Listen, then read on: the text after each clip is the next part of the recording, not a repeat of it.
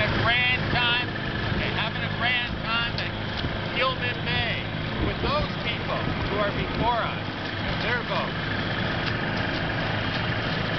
Jackie, how's your holidays been? Excellent.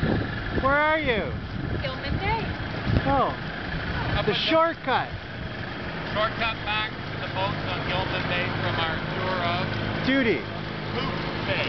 Hoop Bay. Mark the spot. We did.